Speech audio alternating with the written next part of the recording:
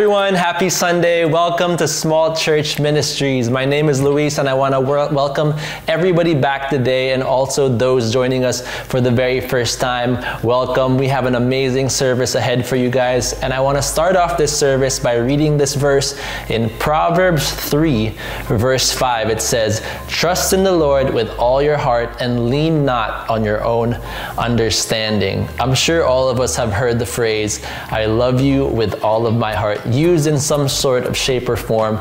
And it often gets thrown around and becomes some sort of cliche to many over the years. But what does it truly mean, the phrase all of my heart? While literally the, the word heart is the you know the organ that pumps blood to the rest of the body, since ancient times our heart has been associated with our emotions, even though it isn't necessarily the source of our feelings. The Bible often uses the word heart to refer to the central place of one's being, where one's whole mind, soul, and spirit operate. So the heart was what guided the person to make sense to the world, and it was what guided one's emotions and where one's emotions flowed from. What does it mean then to trust in the Lord with all of your heart? This means that you can put your trust in God with absolutely everything you've got your emotions, your understanding, your strength, your intelligence, your whole personhood. In other words, trust in the Lord with your entire being. Question for you guys today Who are we putting our trust in today? Are we putting our trust in ourselves? Is it in some sort of relationship that we have? Our career? Maybe it's our money. I truly believe that God wants to do something powerful in all of our lives today, and He's just waiting for us to put our full trust in Him. Let's pray. Father God, thank you so much for your word that says that we can put our trust in you. Thank you, Lord God, that you're a reliable God and a God that loves us. And Lord, that we, any whatever concern we have, we can throw it all to you. Lord, I pray today that we don't put our trust in ourselves, we don't put our trust in another person, our money, our careers, Lord, but we put our trust in you because you know what's best for us. I lift up to you this service. Speak to us today. In Jesus' name, amen.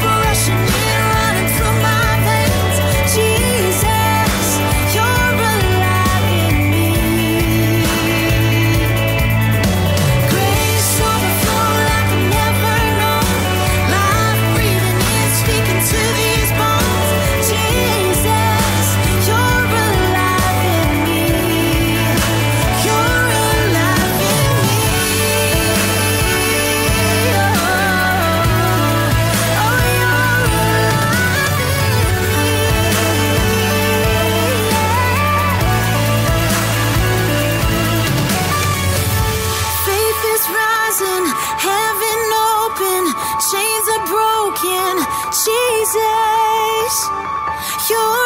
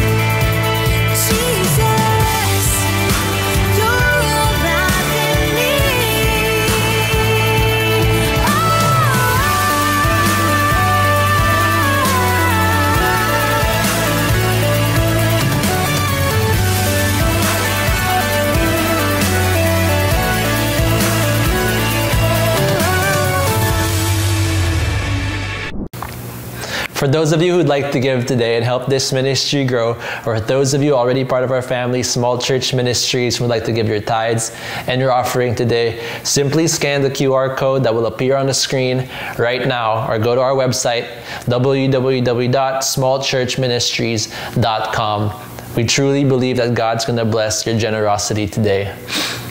All right, Dad, I'm very excited to hear what you're going to say. I'll pass it off to my dad for our time on the meditation on the Word of God. Take it away, Dad. Hi everyone, I'm back. Um, I just enjoyed the last two preaching about why pray and why meditate.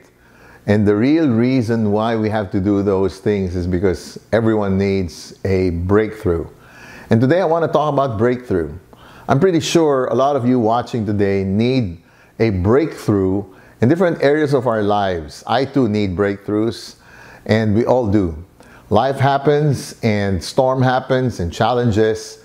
Some of us need breakthroughs in different areas of our lives. So, I want to talk about how we can break through the challenges and the walls or the barriers that are, we are facing in our lives. First of all, for breakthrough to happen, something has to break. Yeah, right? I mean, common sense. Breakthrough happens when you break through something. Breakthrough requires breaking through something, and that something may necessarily be something that is tough. Breakthrough is necessary to break through because that something you're breaking through is hard. I mean, if it's an easy breakthrough, you know, you don't need, we don't need, you know, it's not going to be a breakthrough. We just go through it. it's so hard that you can't break through it on your own strength. That's why it's called a breakthrough. It's so hard that your natural strengths, your natural wisdom, your intelligence, even your experience is not going to be enough. They'll not be enough. It is so hard that it will require supernatural wisdom and strength and supernatural abilities to break through the hard thing that you're facing. It's so hard that you will need a miracle to break through it. In fact, you will need God. So breakthroughs will only happen through God's intervention. Okay? Why God's intervention? Why only through God? Because it will require some change, especially a change of heart. And everyone knows that only God can change hearts. It's not the heart of other people that needs change. No, no, it's actually your heart that needs change. I'm going to say that again. We're trying to change the surroundings. You want to change the world. Before you can change anything, you know which one thing you have to change first is our hearts. And no one else can do it. In fact, I can't change my heart. Unless there's a change of heart, you will never experience breakthrough. That is why breakthrough is impossible and it re- will require a miracle. Most breakthroughs goes against human wisdom. Look at you now. Where has your wisdom taken you? You're in a big mess because of your wisdom. Unless you see your situation for what it is, unless you have a revelation that it was your wisdom and knowledge and experience that got you to where you are. Actually, our hot mess, right? Many of the problems we have, it's because of our intelligence. It's because of the decisions that we make. You never, you know, you'll never experience breakthrough when, you know, because breakthrough is really very, very humbling. That's that's what it is. Real breakthroughs are very humbling. You'll never experience your breakthrough without God's grace. And again, God's grace is only given to those people who humble themselves. So, humility is the starting point of all breakthroughs. You're going to have to accept the fact that you blew it. Some people are still not yet at that point where they want to take responsibility of what has happened in their lives. You have to accept the fact that you made a mistake, that you messed up, whether in the area of relationships, in the area of finance, in the area of spiritual things, or it, you have to accept that you're there because of your doing. Okay, that's hard to take in, by the way, but that's how breakthrough happens. You have to accept the fact that, okay, you know, a lot of people make excuses. As long as you're still making an excuse, it's gonna hard, it's gonna be very hard to break through. Humility is taking responsibilities of your mistakes, of your messes, of your boo-boos. But when you're finally down on your knees, okay, crying, and finally you're desperate, you're desperate for change to happen. That's when breakthrough happens. I remember, you know, years ago, happened to me. There was a barrier in front of me. But until I was really down, sometimes God breaks us so that, you know, we begin to humble ourselves. Because it is when you are broken. That's when God is able to work on your behalf. It's when you're broken that you're no longer interfering with God's sovereign will and power. How many of you know sometimes we're the one interfering with God to do something in our lives? Because it's when you are broken that you can step aside and let God do what He does best.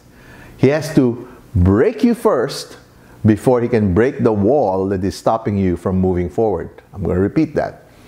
God has to break you first before He can break the thing that's stopping you from moving forward.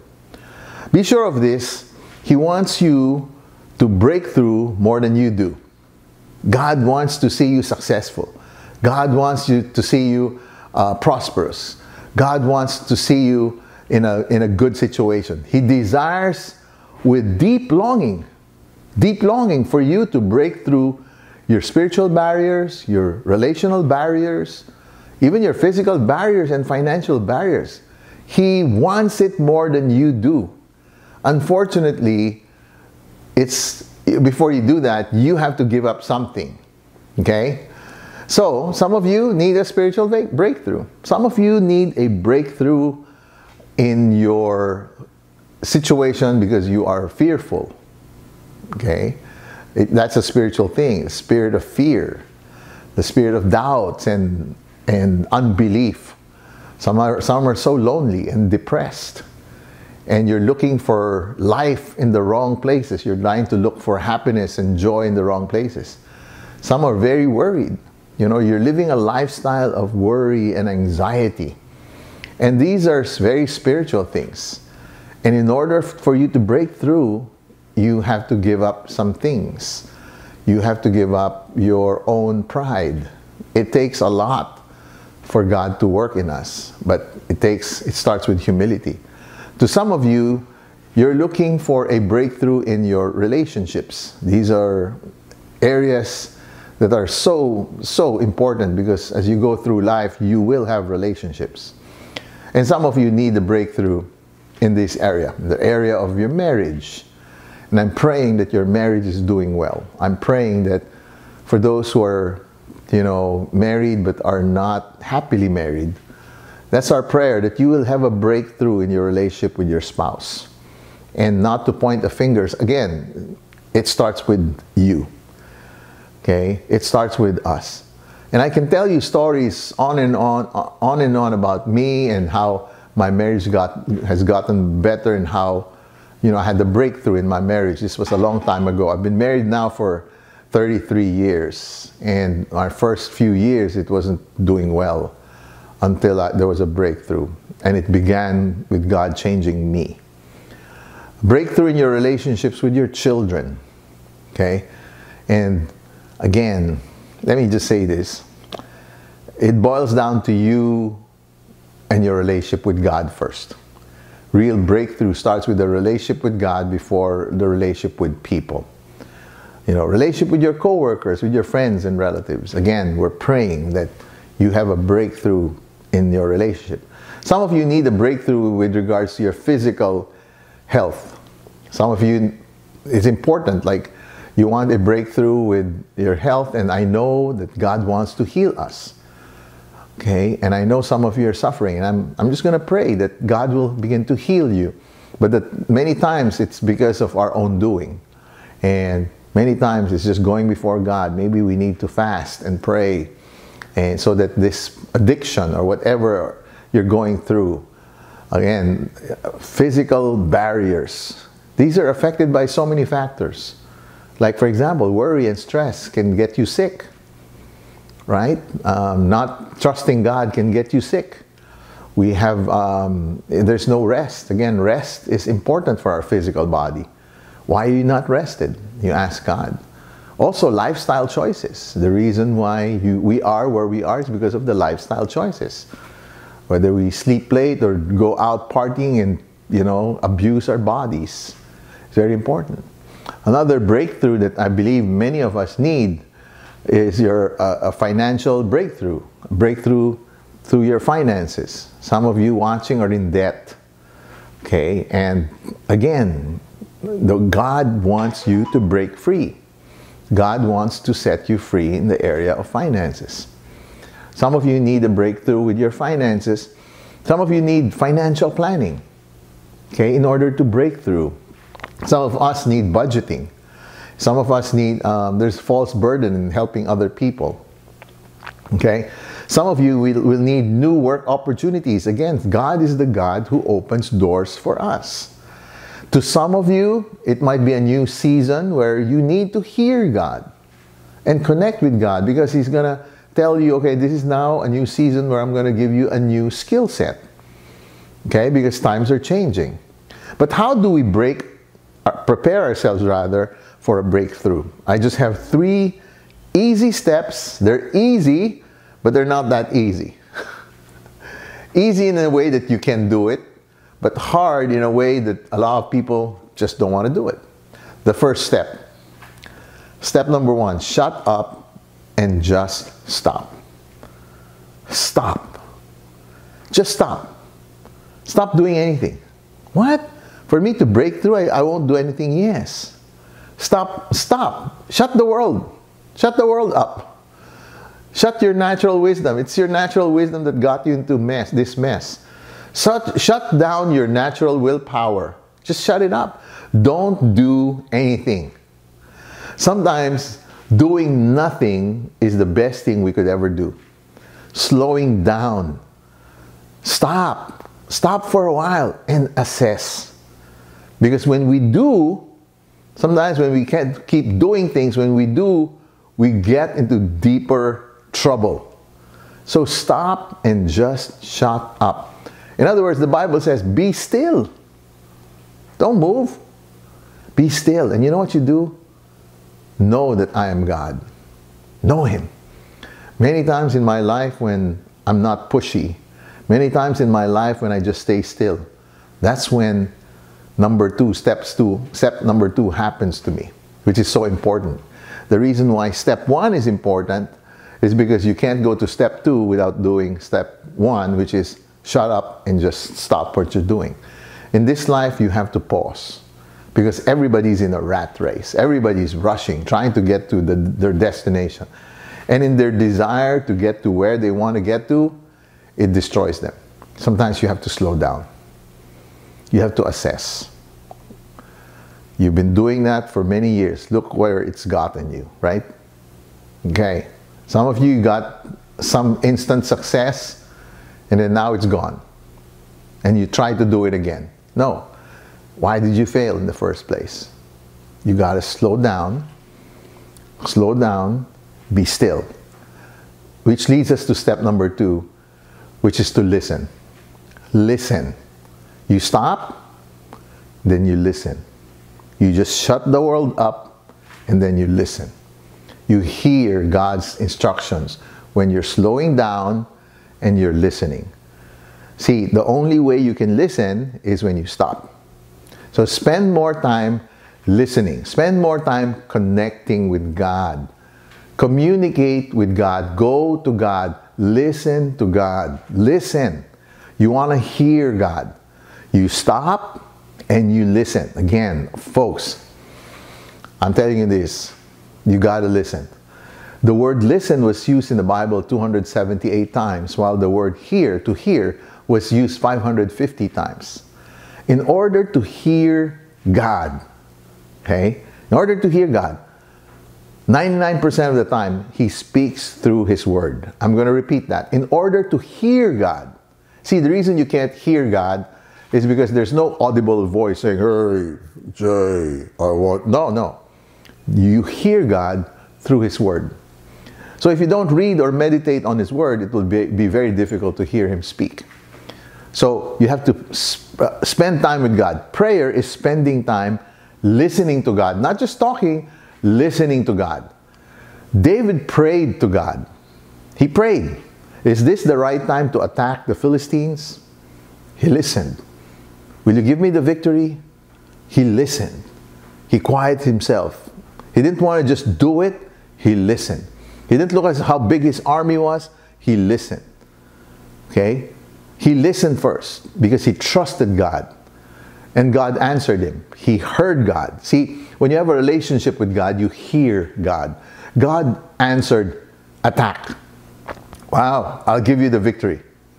So he heard God, and God told him, This is the time to attack. And for sure, I'll give you the victory. See, God sometimes tells you things. You know, maybe he's in a situation where he was in a good position to win. But sometimes, you know, sometimes when you're at war, you're not in a good position to win, but still you believe that it's God who's telling you to attack. Does that make sense? So David and his troops went out to Baal Perazim and defeated the Philistines there. And you know what he said after he defeated the, the, the Philistines? He said, God did it.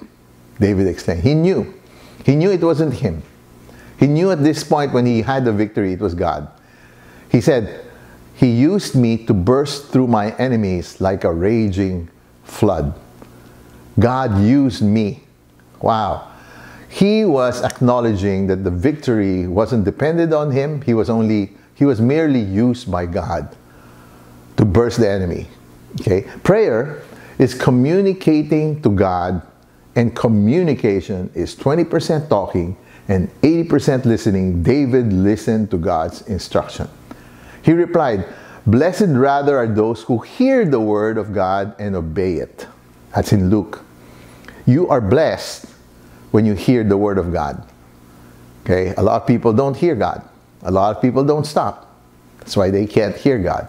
Another verse it says, Therefore, everyone who hears those words of mine and put them into practice is like a wise man who built his house on the rock. Some people hear God, but they don't put it into practice. They're not sure. You know why you, you don't put it into practice? Because you're not sure if it's God. But if you know your God, you will listen and you will act. Okay? The last step look. Okay, to stop, listen, and look. It's not stop, look, and listen. Stop, you listen to what God's instructions, then look. Look at what? Watch God's work. Watch God. This time, watch God. Many times it was you doing your battle. This time, allow God to fight the battle for you.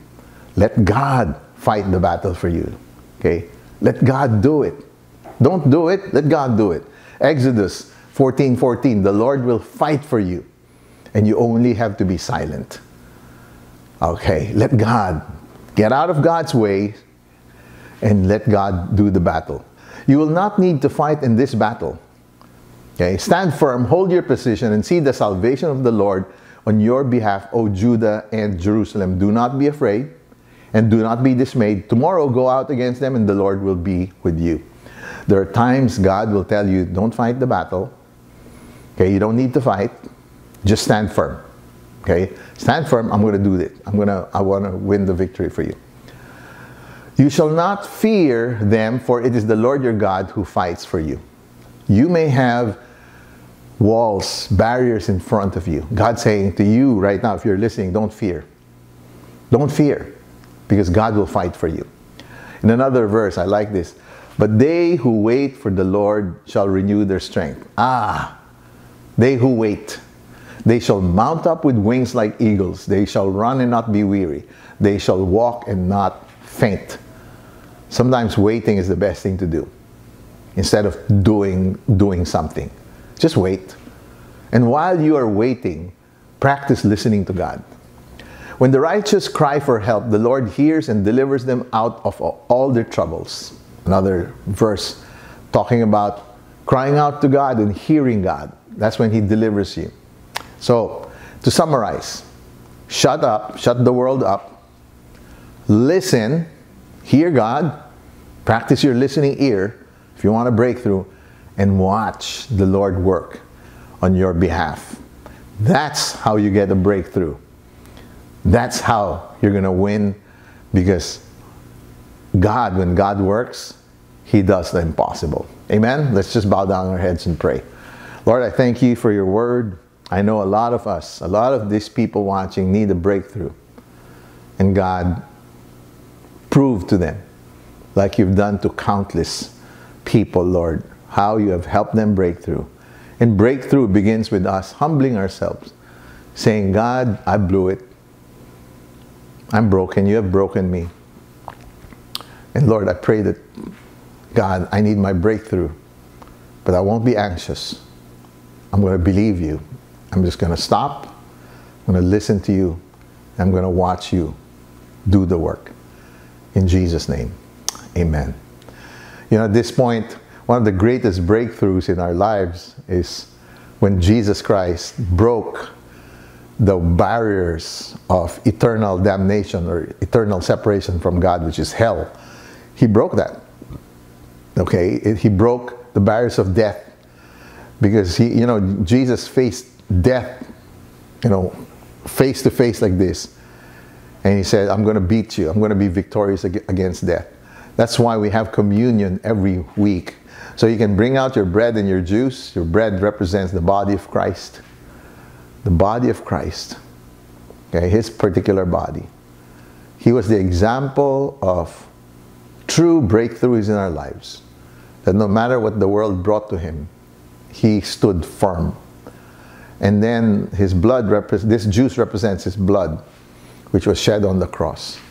He had to die. And he had to prove to the whole world that once he died, he can break the claws of death. And on the third day, he rose again from the dead, proving that he's the Son of Man. The gates of Hades or hell cannot hold him because he was God. He was the true God. All the other gods, you know, Allah, Buddha, whoever God, that people are, they died and they're still dead. There's only Jesus who died and was born again. He lives.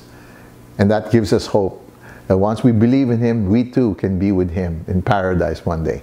That's why we celebrate communion. You may now partake of the bread and the juice. Let me pray. Lord, I thank you for your body and your blood, for giving us your life because you loved us. In your name we pray. Amen. Let's continue on in an act of worship as we listen to these music.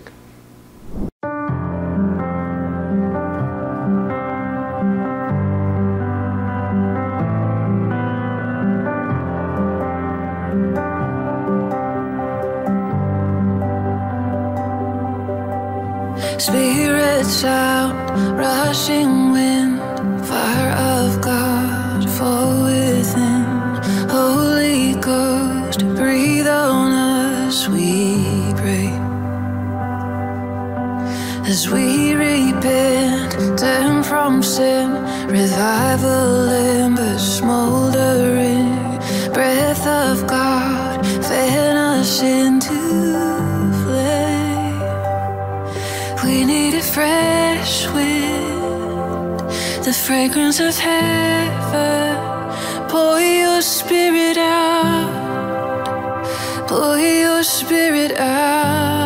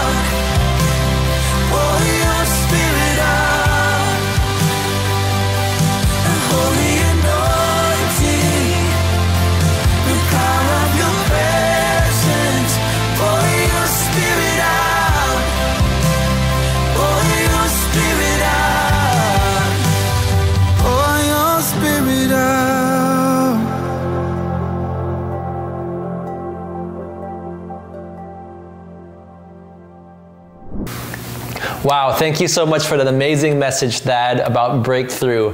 I hope all of us will be inspired today to know that only God can give us true breakthrough. I hope you guys enjoyed that. Thank you so much to everybody who joined us today, especially those who joined us for the first time. I'm really excited for what God's going to do for us this week. I'll see you guys all again real soon. Bye.